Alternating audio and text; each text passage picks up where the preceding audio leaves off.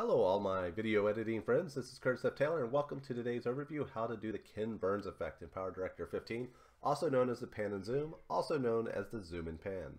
Today we'll be focusing on doing this effect on videos. My last video focused on the introduction of the Ken Burns effect and how to use it when working with photographs and still images.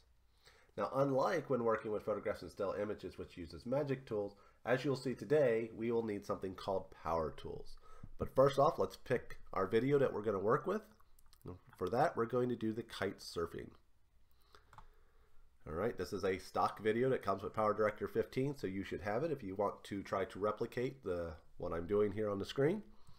Then next off, what you want to make sure is that clip is selected over here on the right side and not movie.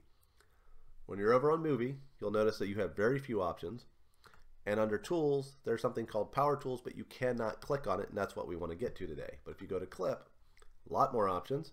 You go to tools, and when you click on power tools, you will get the option to do things such as 2D to 3D, video speed, video rotation. But what we want is the crop and zoom. And once you click on crop, crop and zoom, nothing seems to happen, but as you can see over here, you get another option for crop and zoom, and then you click it. Now the crop and zoom box opens up, which looks very much like the Magic Motion Designer box. Um, but again, I'll go through it if you haven't seen the last tutorial.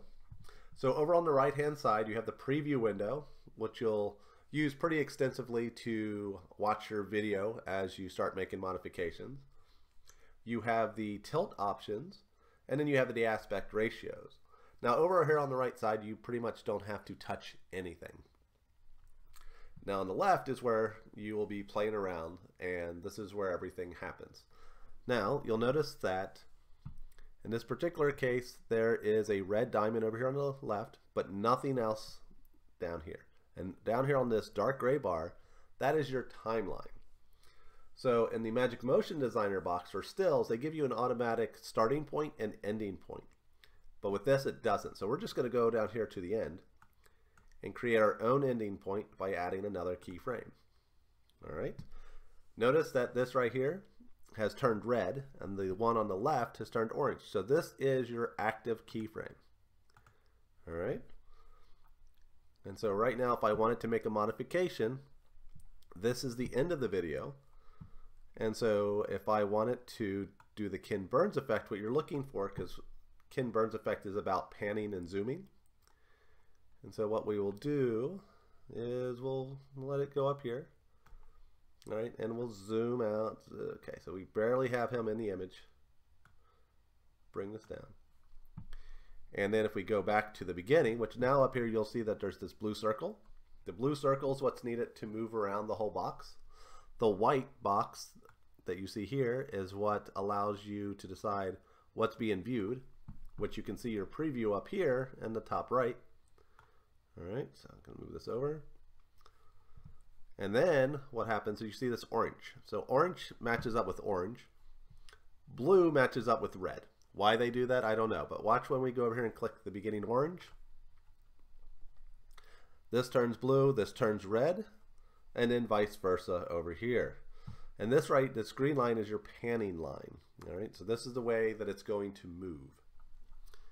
So we click here, but we want to start our video focused on this guy. So we're going to zoom all the way down. If you watch a preview window, you can see that we're just going to focus all the way down on him.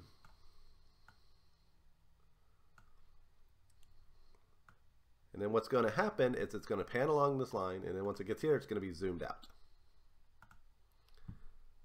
So we'll stop. Oh, there we go. Completely zoomed in on him. And then we'll do our preview. And you will see that it just slowly expands out. You can see it on there.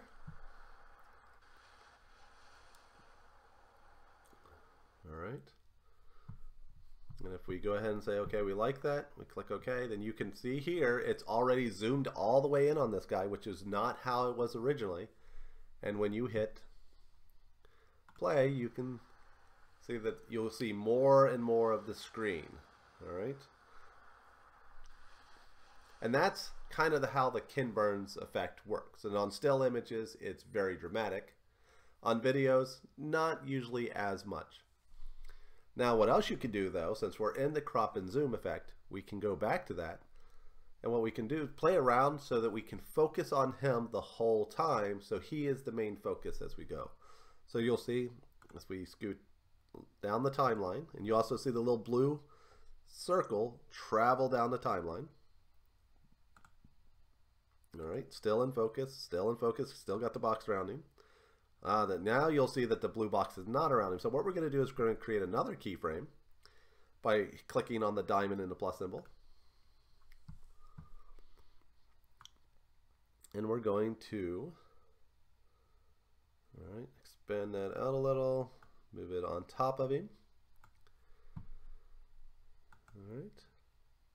And we'll click down and click another keyframe and then we'll just continue to move this. Now remember to move the box, be on the blue circle. All right. Or you can use the orange for quick travel so you can jump back and forth. All right. Click down the timeline. All right, so now he's way over here. We can actually add another and then kind of let's go back down here. We'll add another and we'll focus in on him a little bit more. And to do that, you just kind of shrink the box. You move this over. Now you can see the line's getting all out of control, but it's fine, as you'll see when we do our preview here in a little bit. And then it'll start zooming back out. So what we'll do is we'll hit stop, play, and watching the preview window, you can see if he stays in focus the whole time, which he does. And then it pans out so you get the full view. And once you're okay with that, you can click OK.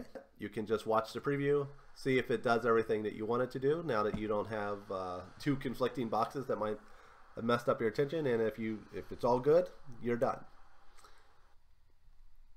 So one other thing that you can do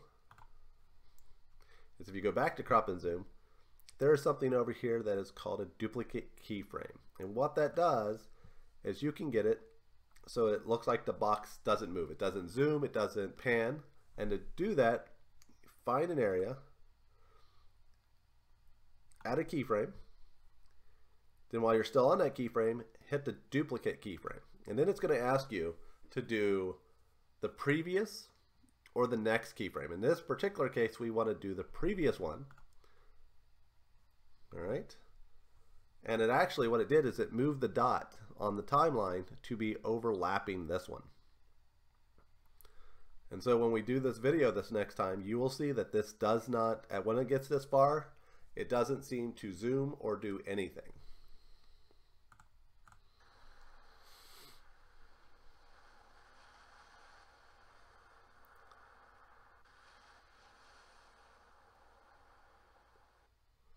All right. And if you're okay with it, you click OK. Now with video, the pan and zoom effect um, or the Ken Burns effect is not as important as it is with still images. It can still be done and you'll find sometimes if you have some really old videos that there's a way to use it and you can really maximize some effect with it, but it would some, take some time to really play with it and master that. So with that, um, again, uh, you could also use this for instructional videos. So if you were trying to show someone something, and you'll see here in a little bit when I am doing the video itself, there'll be parts that I zoom in on. And to do that, I actually had to use the crop and zoom because I'm doing that effect on a video and not on a still. So with that, I'll leave it to you. And I would say you should play with it this week. You should see what ways that you can maximize some of the videos you might have already created. Especially if you've done instructional videos. This is one of those tools that are very good for that. If there's any family outings and you're trying to focus on someone um, through the video, again, this crop and zoom is what you want for that. So if you guys like this video, and if there's any other functionality of Power Director you would like me to tackle, please let me know and I'll gladly start working on it. And with that, my friends, may God bless you in your video making endeavors. This is Kurtis F. Taylor signing off.